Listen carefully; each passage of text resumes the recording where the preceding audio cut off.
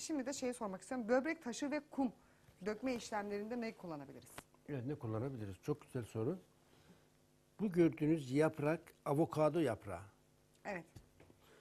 Böbreklerde oksalik asit ve ürik asit oranı çoğalırsa bu çoğalmasının, artmasının sürekli bir asit oluşmasının sebebi bağırsaklardan gelen toksik maddeyi karaciğerin arıtamaması, karaciğerin yorulması, yağlanması Evet.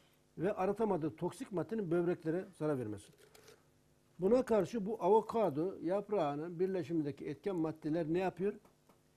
Oksalik asit ve ürik asidi yavaş yavaş yok ediyor.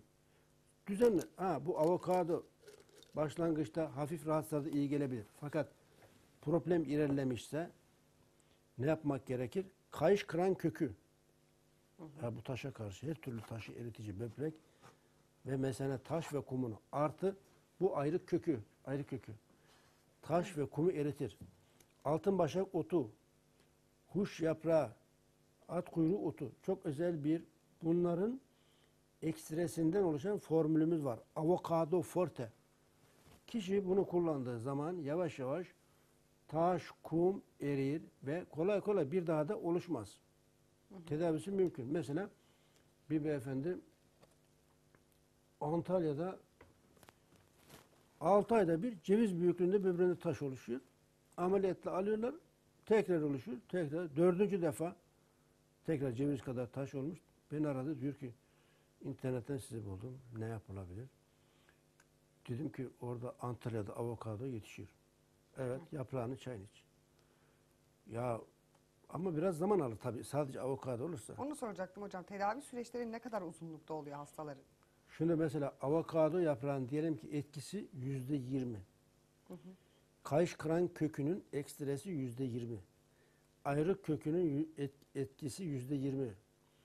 Altın başak otunun ekstresi yüzde yirmi. Böyle özel bir kombinasyon biz geliştirdik. Birleşiminde 19 çeşit bitki ekstresi. 5 tane gıda takviyesini kullanılınca mı? 5 değil 19. Yani 19. Değişiyor. Mesela avokado yüzde yirmi ise altın başakta yüzde yirmi ama ayrık yüzde ondur. Her bitkinin etkisi, kapasitesi farklı farklıdır. Evet. Bu avokado forteyi geliştirdik. Kullandığı zaman kişi taş, kum yavaş yavaş eridiği gibi Evet.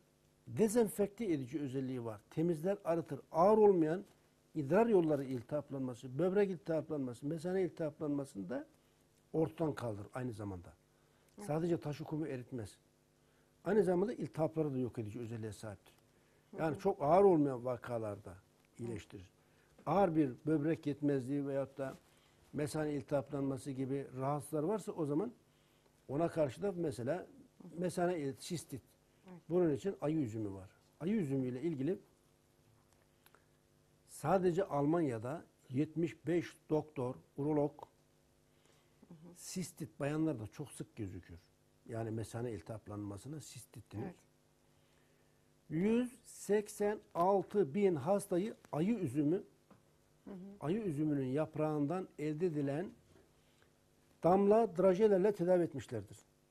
186 bin kişi ayı üzümü sistite karşı dünyada en etkili bitkidir.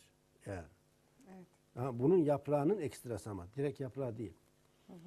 Böbrekler içinde böbrek iltihaplanması veya kronik böbrek iltihaplanmasına karşı da altın başak otunun ekstresi mükemmel bir etkiye sahiptir. Yani rahatsızlığa göre değişir. Yani böbrekte taşta, şey, böbrek ve mesela taş, kum varsa avokado, mesanede iltihap varsa, sistit varsa ayı üzümü, böbrekte problem varsa altın başak otu, rahatsızlığa göre idrar yolları enfeksiyonu varsa ayrık kökü, yani rahatsızlığa göre değişir.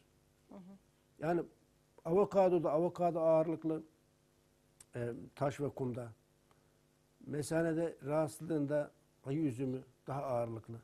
Değişir formülasyonda değişik değişik formüllerimiz var. Bizim 80'in üzerinde çeşit çeşit formüller geliştirdik, ürünler geliştirdik. Evet hocam ağzınıza sağlık ve programımızın ilk, ilk bölümünün sonuna geldik ve bizi yine e, değerli fikirlerinize, değerli gıda takviyelerinize bizi bilgilendirdiniz ve izleyicilerimiz e, sizlerden faydalandı. Ve Perşembe günü de e, programımızı sizinle beraber kaldığımız yerden devam edeceğiz. ve e, bizim programımızın sonuna gelenler, ilk bölümümüzün sonuna gelenler İbrahim Gökçe'ye sormak istediklerini Perşembe günü yine canlı yayında sorabilirler ve ekranlardan da takip ettiğiniz bitkiseltedavi.com ve doğaltedavi.net adreslerinden internet sitesidir. İbrahim Bey'in, e, İbrahim Gökçe'nin resmi internet sitesidir. Oradan ulaşıp e, sormak istediğiniz sorulara yanıt bulabilirsiniz ve danışmak istediğiniz soruları telefonla bağlanıp 212 621 21 65 ve 66 nolu telefonlardan da İbrahim Gökçe'ye ulaşabilirsiniz ve sormak istediğiniz soruları sorabilirsiniz. Dediğimiz gibi Perşembe günü saat 17'de İbrahim Gökçek yine bizlerle beraber olacak.